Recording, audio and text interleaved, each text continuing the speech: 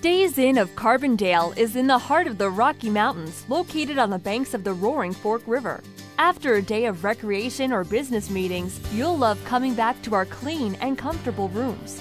We offer a number of amenities including free continental breakfast, Wi Fi, and more.